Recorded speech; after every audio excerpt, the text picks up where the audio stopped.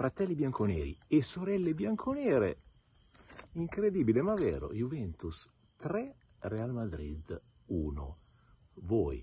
che siete stati svegli tutta la notte insieme a me per vedere questa partita della Juventus, iscrivetevi al canale prima di andare a letto, like al video, commenti, naturalmente la campanella per essere raggiunti e raggiunte, ovunque voi siate. Allora, usciamo subito dall'equivoco del risultato. Eh, sempre un amichevole, però la Juventus chiude la sua tournée con la vittoria di rigori con il Milan e la vittoria 3-1 sul Real Madrid, Real Madrid avanti nella condizione e nella preparazione, Real Madrid che non, vuole, cioè, non deve neanche stare a dire di Kroos, di Modric, del super pagato Bellingham, di, del devastante Vinicius, insomma non è, non è che dobbiamo fare l'elenco. La Juve sicuramente non è all'altezza del Real Madrid e su questo siamo d'accordo.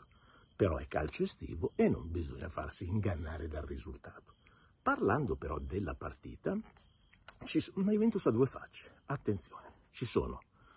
lati positivi e lati negativi, come sempre, cose che abbiamo fatto vedere che ci danno una speranza e cose nettamente da migliorare. Allora,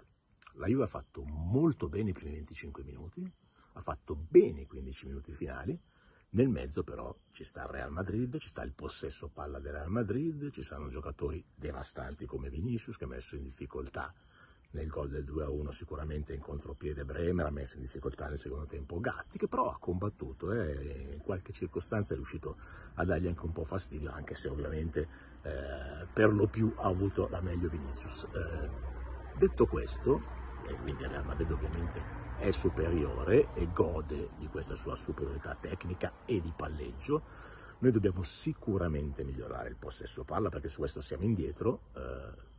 è vero che il centrocampo, pensato titolare, sempre ammesso e non concesso che Pogba sia ancora un giocatore di calcio della Juve, sarà Rabiot, Pogba e Fagioli piuttosto che Locatelli, mentre adesso abbiamo visto Miretti e McKenny in questa tournée. McKenny tra l'altro man of the match. Eh, ma detto questo, si può sicuramente, si deve sicuramente migliorare sul, sul possesso e sul palleggio. Eh, dove siamo andati a cadere, come l'anno scorso e come l'anno prima, siamo andati a cadere sul fatto che Dopo i primi 25 minuti ci siamo abbassati nettamente, Real Madrid ha iniziato a palleggiare, ha preso il possesso, ha preso il sopravvento, ma noi ci siamo nettamente abbassati e, non ci abbiamo capito molto di più fino al quarto d'ora finale, siamo stati presi un po' a pallate e lì dobbiamo assolutamente lavorare e migliorare perché eh, altrimenti poi eh, può capitare, come abbiamo visto nelle ultime eh, due stagioni, che, che, insomma se non è un'amichevole estiva e, e, se la squadra avversaria è più precisa non sciupa e se non ha in campo un portiere all'altezza, come ha dimostrato Tec nel primo tempo con quattro grandi parate e anche Pinzoglio nella ripresa che ha dato sicurezza al reparto, soprattutto nelle uscite, eh, quando dava via il, il pallone dal basso, se non hai il portiere in forma poi dopo i gol li prendi.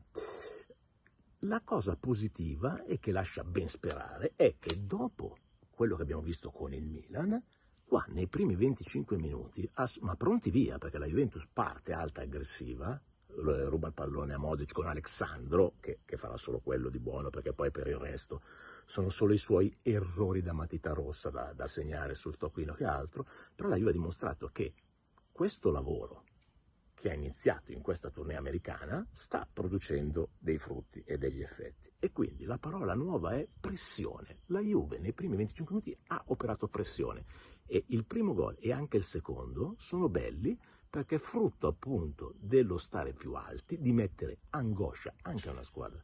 come il Real Madrid, portargli via il pallone e poi con dei tocchi di prima farsi trovare dentro l'area di rigore, così che McKenny inizia e finisce l'azione con un assist eh, e UEA segna il suo primo gol con la maglia della Juventus, così che McKenny dopo il pallone eh, rubato da Alexandro dopo 50 secondi prende un palo e sulla ribattuta sul tappin che insegna. E, quest- e, anche in altre due o tre circostanze quando la Juve è andata via veloce e poi però magari ha concluso soprattutto con Chiesa eh, centrale rasoterra o con Kostic senza creare dei pericoli eccessivi al portiere del Madrid però ha dimostrato che giocando così si può intanto stare alla pari quando una squadra è più forte di te, ma poi soprattutto rischiando, rischiando qualcosa, però si riesce a giocare nella metà campo degli altri e a produrre non soltanto gioco e belle azioni, ma poi alla fine gol. Poi appena, dopo il cooling break, appena ci siamo presi invece eh, quella, quell'attimo per pensare tra McKenny e UEA come passare o come non stoppare il pallone, ci siamo presi il contropiede di Vinicius, è l'unico gol che abbiamo incassato durante la partita. Eh, però queste sono le due fasi, quindi la fase buona, non soltanto la prima mezz'ora e due gol, ma quello su cui si è lavorato il possesso, la fase molto meno buona, e cioè quella in cui ci siamo fatti schiacciare e lì bisogna completamente migliorare, dobbiamo uscire no, da, quella, da, quella, idea che abbiamo avuto eh, nelle, negli ultimi campionati dove appena prendi un gol, cioè, cioè il gol si può prendere, pazienza, vai avanti come prima. Invece qua appena si prende un gol poi la squadra si abbassa e se gli altri che sono il Real Madrid poi devi soffrire le pene dell'inferno. Ehm, alla fine c'è stato anche il terzo gol di Vlaovic che è entrato in campo al 77esimo e attenzione perché mi è sembrato, non dico in palla, perché è, la, è il primo spezzone di, di amichevole che gioca in questa preparazione estiva, però mi è sembrato molto convinto, molto cattivo, molto determinato e quasi a lanciare un messaggio della serie oh, io voglio restare qua, sappiamo cosa sta succedendo a latere nel mercato, ma mi sembra che Vlaovic da una parte e Chiesa dall'altra siano molto determinati a restare qua. Eh, Chiesa meno bene che col Milan, ha giocato sempre la seconda punta, però eh, soprattutto nella prima metà della, della, partita ha svariato e si è allargato molto alla sinistra e lì, dialogando con i compagni, creava la superiorità numerica, tanto che è entrato nelle azioni dei gol. Se c'è una cosa che deve fare Federico meglio, e lo abbiamo visto anche questa notte, quando ci sono le azioni in contropiede, il testolino mentre corri deve stare alto, perché se carichi a testa bassa, poi quando la alzi vai a sbattere contro il muro avversario. Grande infornata di giovani anche a questo giro, Barrenecea disastroso quando è entrato, eh, avrebbe anche causato probabilmente un rigore che non è stato dato, che poteva costare il pareggio, ma comunque ha perso veramente dei palloni sciagurati a dimostrazione che forse quello che abbiamo visto anche l'anno scorso rispetto agli altri ragazzi della sua nidiata lo pone in una situazione un po' arretrata, mentre Oisen, il ragazzino, il difensore, Oisen, ma al di là di, di quella che può essere la personalità e, e l'azione nella fase difensiva,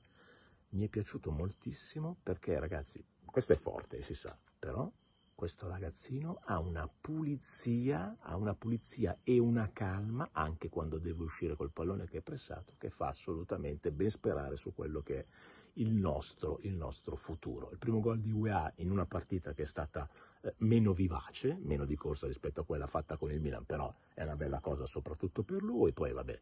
McKenny e, e, e UEA gol all'americana, siamo in America, quindi tutti contenti anche dal punto di vista del marketing, ci si marcia per i prossimi giorni. Con i video, ehm, Kostic eh, non molto brillante, eh, ha tirato una una conclusione centrale e poi ha, ha avuto l'opportunità alla Costi di mettere il pazzolone in mezzo per un, per un gol, invece ha, ha, messo un cross che è stato arretrato una via di mezzo eh, tra Chiesa e Ken nel, nel, primo tempo. Per quanto riguarda Milik invece, eh, Milik e Miretti sono secondo me i due assenti della partita. Miretti spesso e volentieri si è nascosto, l'abbiamo visto soltanto una volta in un'azione in cui ha difeso bene il pallone, ma è stato veramente eh, molto, molto, molto soffocato da questa partita qua e, e, quindi anche lui è un po' indietro rispetto agli altri, ma è quello che l'anno scorso ha avuto più difficoltà rispetto agli altri giovani. Milik, Milik mi sembra un po', non dico incartato, però un, un, po, troppo, un po' troppo macchinoso, non, non lo vedo più quel giocatore che, che aveva fatto bene all'inizio l'anno scorso quando, quando, era arrivato da noi, bisogna rispolverarlo un po' meglio. Eh, le distanze, attenzione a questa parola, le distanze, perché la Juventus è andata in grave difficoltà perché si è trovata più